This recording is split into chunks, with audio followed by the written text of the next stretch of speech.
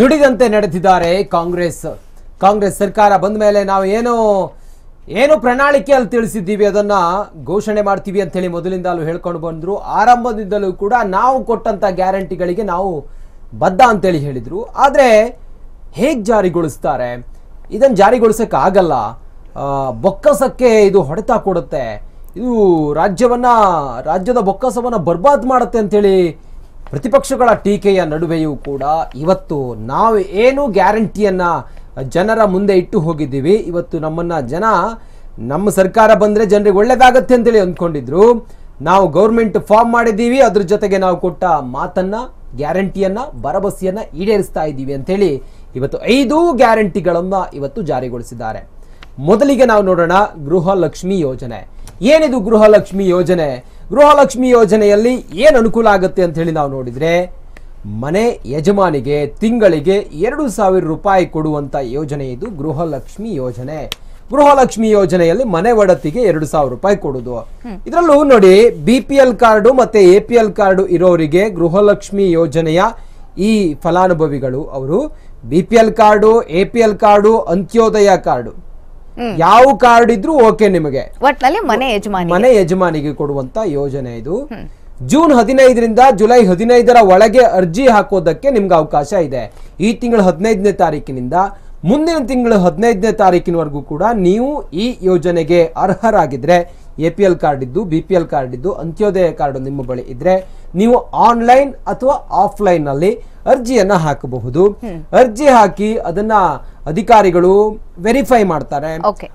Verify ಮಾಡಿ ಅದಕ್ಕೆ ಒಂದು ತಿಂಗಳ ಸಮಯಾವಕಾಶ ಹೋಗುತ್ತೆ ಜೂನ್ ಹದಿನೈದರಿಂದ ಜುಲೈ ಹದಿನೈದರ ಒಳಗೆ ಅದಾದ ನಂತರ ಆ ಲೆಕ್ಕಾಚಾರ ಒಂದಿಷ್ಟು ಗಡುವು ಅದೆಲ್ಲ ಮುಗಿದ ನಂತರ ಆಗಸ್ಟ್ ಹದಿನೈದನೇ ತಾರೀಕಿನಂದು ಯಾರ್ಯಾರು ಅರ್ಜಿ ಹಾಕಿದ್ದೀರೋ ಯಾರ್ಯಾರು ಫಲಾನುಭವಿಗಳು ಅಂಥೇಳಿ ಈ ಅಧಿಕಾರಿಗಳು ಅಲ್ಲಿ ವೆರಿಫೈ ಮಾಡಿರ್ತಾರೋ ಅವರಿಗೆ ಆಗಸ್ಟ್ ಹದಿನೈದು ಸ್ವಾತಂತ್ರ್ಯ ದಿನಾಚರಣೆಯ ದಿನದಂದು ಗೃಹಲಕ್ಷ್ಮಿ ಯೋಜನೆಯ ಫಲಾನುಭವಿಗಳಿಗೆ ಎರಡು ಸಾವಿರ ರೂಪಾಯಿ ಮನ ಮನೆ ಒಡತಿಗೆ ಕೊಡುವಂತ ಯೋಜನೆ ಇದು. ಹದಿನೆಂಟು ವರ್ಷ ಮೇಲ್ಪಟ್ಟಂತಹ ಯುವತಿಯರು ಮಹಿಳೆಯರು ಯಾರೇ ಆಗಿದ್ರು ಕೂಡ ಮನೆ ಒಡತಿ ಅಂತೇಳಿ ನಿಮ್ಮನ್ನ ಮನೆಯವರು ಕನ್ಸಿಡರ್ ಮಾಡಿದ್ರೆ ನಿಮ್ಮ ಆಧಾರ್ ಕಾರ್ಡು ನಿಮ್ಮ ಪ್ಯಾನ್ ಕಾರ್ಡು ನಿಮ್ಮ ಬ್ಯಾಂಕ್ ಡೀಟೇಲ್ಸ್ ಎಲ್ಲವನ್ನು ಕೂಡ ನೀವು ಅರ್ಜಿ ಹಾಕ್ತಿರಲ್ಲ ಆವಾಗ ಅನುಮೋದನೆ ಮಾಡಿದರೆ ಸಾಕು ಅದನ್ನ ನೀವು ಲಿಂಕ್ ಮಾಡಿದ್ರೆ ಸಾಕು. ಯಾರ ಅಕೌಂಟ್ ಅನ್ನ ಲಿಂಕ್ ಮಾಡಿರ್ತಾರೋ ಅವರನ್ನ ಮನೆ ಒಡತಿ ಅಂತ ಹೇಳಿ ಪರಿಗಣಿಸಿ ಅವರಿಗೆ ಎರಡು ಸಾವಿರ ರೂಪಾಯಿನ ಆಗಸ್ಟ್ ಹದಿನೈದನೇ ತಾರೀಕು ಕೊಡ್ತಾರೆ. ಸಾಕಷ್ಟು ರೀತಿಯಾದಂತ ಗೊಂದಲ ಕೆರಳಿಸಿತ್ತು. ಅತ್ತೆಗೆ ಬೆಳತ್ತಾ ಸೊಸೆಗೆ ಹಣ ಹಾಕ್ತಾರ ಯಾರಿಗೆ ಕೊಡ್ತಾರೆ ಈ. ಎರಡು ಸಾವಿರ ರೂಪಾಯಿ ಯಾರನ್ನ ಮನೆ ಯಜಮಾನಿ ಅಂತ ಕನ್ಸಿಡರ್ ಮಾಡ್ತಾರೆ ಅಂತ ಸಾಕಷ್ಟು ರೀತಿಯಾದಂತಹ ಗೊಂದಲಗಳಿವೆ ಕನ್ಫ್ಯೂಷನ್ ಇತ್ತು ಜನರಿಗೆ. ಆ ಕನ್ಫ್ಯೂಷನ್ ಎಲ್ಲ ಕ್ಲಿಯರ್ ಆಗಿದೆ. ಅದೇನಂತ ಹೇಳಿದ್ರೆ ಮನೆಯವರು ನೀವು ಹದಿನೆಂಟು ವರ್ಷ ಮೇಲ್ಪಟ್ಟಂತಹ ಮಹಿಳೆಗೆ ನೀವು ಮನೆ ಒಡತಿ ಅಂತೇಳಿ ಕನ್ಸಿಡರ್ ಮಾಡಿ, ಅವರ ಬ್ಯಾಂಕ್ ಡೀಟೇಲ್ಸು ಅವರ ಪ್ಯಾನ್ ಕಾರ್ಡು ಅವರ ಆಧಾರ್ ಕಾರ್ಡನ್ನು ಈ ಹದಿನೈದನೇ ತಾರೀಕಿನಿಂದ ಮುಂದಿನ ಹದಿನೈದನೇ ತಾರೀಕಿನವರೆಗೆ ಆನ್ಲೈನ್ ಅಥವಾ ಆಫ್ಲೈನ್ನಲ್ಲಿ ನೀವು ಲಿಂಕ್ ಮಾಡಿದರೆ ಅಥವಾ ಅರ್ಜಿಯನ್ನು ಹಾಕಿದರೆ, ಆ ಅರ್ಜಿಯನ್ನು ಕನ್ಸಿಡರ್ ಮಾಡ್ತಾರೆ ಅಧಿಕಾರಿಗಳು. ಆಗಸ್ಟ್ ಹದಿನೈದನೇ ತಾರೀಕಿನ ಒಳಗಡೆ ನಿಮ್ಮದು B P L A P L Antyodaya card holder ನೀವು ಆಗಿದ್ದು ಆದ್ರೆ ನಿಮಗೆ ಇದರ ಫಲಾನುಭವಿಗಳು ಅಂತೇಳಿ ಗುರುತಿಸಿ ಆಗಸ್ಟ್ ಹದಿನೈದನೇ ತಾರೀಕು ನಿಮ್ಮ ಅಕೌಂಟ್ಗೆ ನೀವು ಏನು ಅಪ್ಲೈ ಮಾಡಿದ್ರಲ್ಲ ಆ ಅಕೌಂಟ್ ನಂಬರ್ಗೆ ಎರಡು ಸಾವಿರ ರೂಪಾಯಿ ಪ್ರತಿ ತಿಂಗಳು ಹಾಕ್ತಾ ಹೋಗ್ತಾರೆ. ಪ್ರತಿ ತಿಂಗಳು ಮನೆಯ ಖರ್ಚಿಗೆ ಅಂತೇಳಿ. ಈಗ ಎಲ್ಲ ಗೃಹ ಬಳಕೆ ವಸ್ತುಗಳ ರೇಟ್ ಹೈಕ್ ಆಗಿದೆ.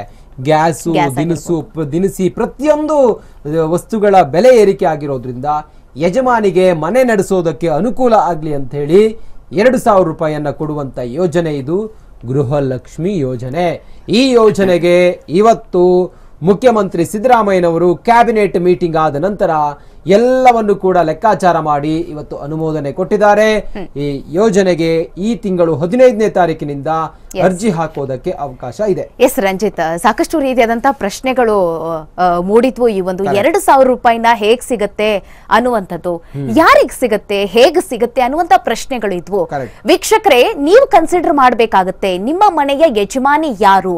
ಅತ್ತೆನಾ ಸೊಸೆನಾ ಒಟ್ಟಿನಲ್ಲಿ ಅವರು ಹದಿನೆಂಟು ವರ್ಷದ ಮೇಲ್ಪಟ್ಟವರು ಆಗಿರಬೇಕು. ಅವರು